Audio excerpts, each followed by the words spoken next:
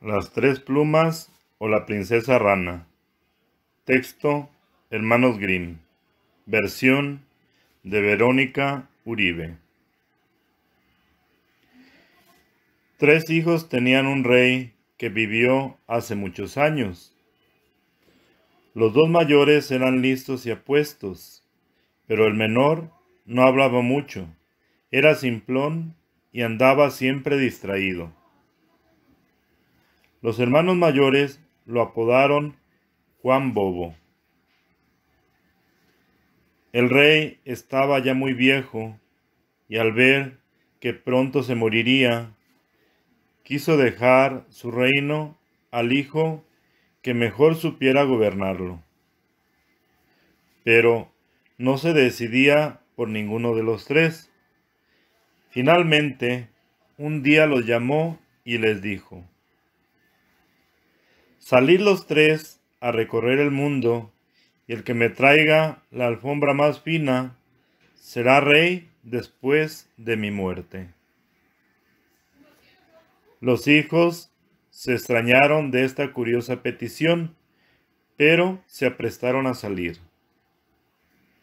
La mañana de su partida, el rey los acompañó al jardín y sopló tres plumas al aire. Cada uno de ustedes seguirá la dirección de una de las plumas. Una pluma se fue volando hacia el este y hacia allá partió el hermano mayor. Otra se fue hacia el oeste y en esa dirección partió el hermano del medio. Pero la tercera voló en línea recta, no demasiado lejos, y cayó pronto al suelo.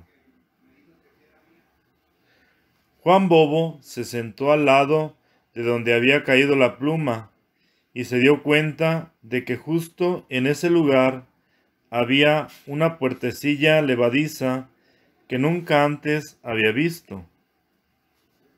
La levantó, encontró una escalera y bajó por ella. Al final de la escalera había otra puerta. Juan tocó tres veces y escuchó que adentro una voz decía, Tocan a la puerta. ¿Quién será? ¿Qué querrá? Y la puerta se abrió.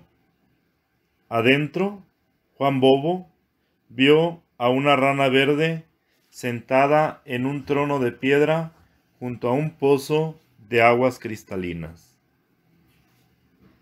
¿Qué deseas? le preguntó la rana. Quiero la alfombra más fina y más hermosa del mundo. La tendrás, dijo la rana, y le pasó una nuez. Ábrela cuando sea necesario. Juan Bobo tomó la nuez muy contento y volvió al palacio. Tardaron todavía en regresar los hermanos. Nada bueno encontrará Juan Bobo de tan bobo que es, pensaron, y no se molestaron mucho por encontrar una alfombra muy fina. Cuando se presentaron delante del rey, los dos hermanos mostraron sus tapices. El rey los miró, tocó el tejido basto de los dos alfombras y luego le dijo a Juan, ¿Y tú, qué me has traído? Juan sacó la nuez de su bolsillo y los dos hermanos se echaron a reír. Juan ha traído una nuez. ¡Qué bobo! ¿Es acaso esa nuez lo que has traído? preguntó el rey muy serio. Y Juan recordando lo que la rana le había dicho, abrió la nuez y de dentro se desplegó una maravillosa alfombra de fino y suave tejido. Todos quedaron asombrados. El rey dijo entonces que el reino sería para Juan, ya que había traído sin duda la alfombra más hermosa. Pero los hermanos mayores insistieron en hacer una nueva prueba. Padre, dijeron al rey, es imposible que Juan gobierne porque le falta juicio para todas las cosas. El rey se dejó convencer y puso una nueva prueba. El reino sería para quien trajera el anillo más hermoso. Fue con sus tres hijos al jardín y sopló las plumas. La primera voló hacia el este y hacia allá se dirigió el hermano mayor. La segunda pluma voló hacia el oeste y hacia allá se encaminó el hermano del medio. Y la tercera pluma voló a poca altura y se posó cerca de allí, como la primera vez al lado de la puerta levadiza. Juan Bobo la alzó, bajó por la escalera, tocó la puerta y escuchó la misma voz. Tocan a la puerta. ¿Quién será? ¿Qué querrá? La puerta se abrió y allí estaba la rana verde sentada en su trono de piedra. ¿Qué deseas ahora? preguntó. Mi padre nos ha pedido el más hermoso anillo, contestó Juan. Lo tendrás, dijo la rana, y le alcanzó otra nuez. Ábrela cuando sea necesario. Juan regresó feliz al palacio. Los hermanos tardaron unos días en volver. No habían buscado mucho y en la primera aldea que encontraron compraron unos anillos de cobre. Cuando el rey supo que los tres estaban de regreso, los mandó llamar. Muéstrenme los anillos, les dijo. Los hermanos mayores mostraron los anillos que habían comprado. El rey los miró, luego alzó la vista y preguntó, ¿Dónde está el anillo que me has traído, Juan? Juan se metió la mano al bolsillo y sacó la nuez. Los hermanos se echaron a reír. Una nuez. Padre, ha traído otra nuez.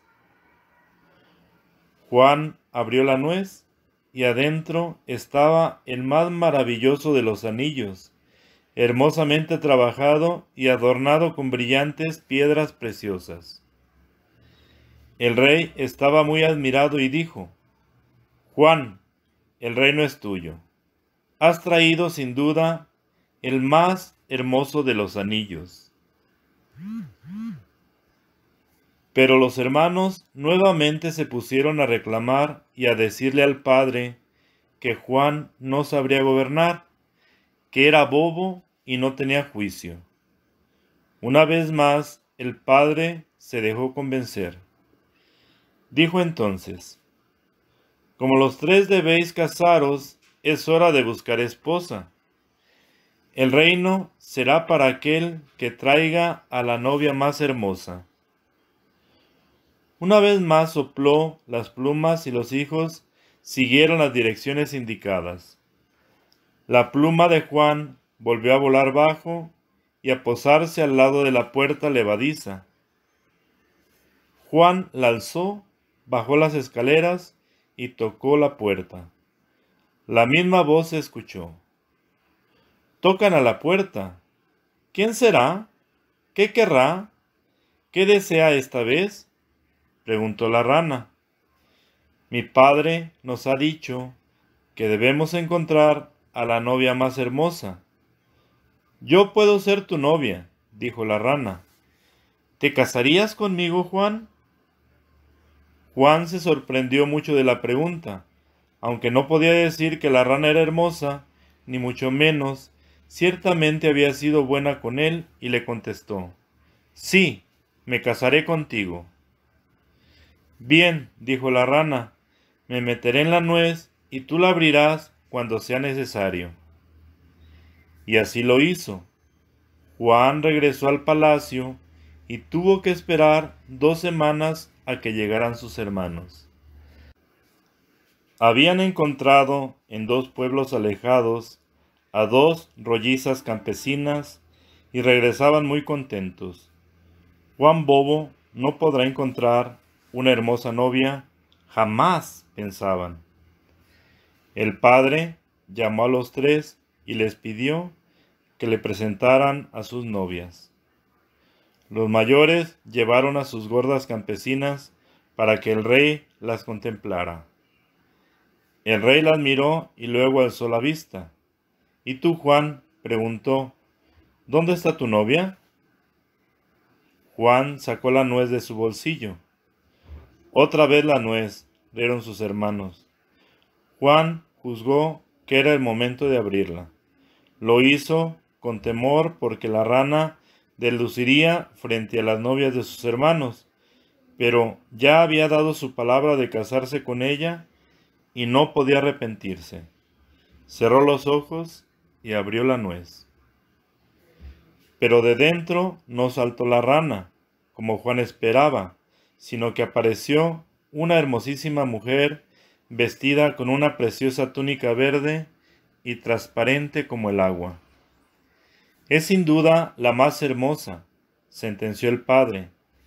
Juan será mi heredero.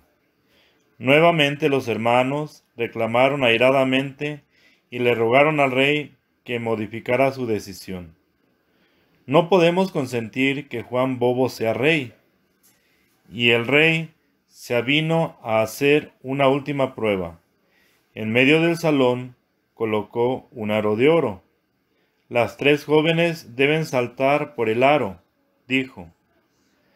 Las novias de los mayores eran pesadas y torpes, y se cayeron al intentar saltar.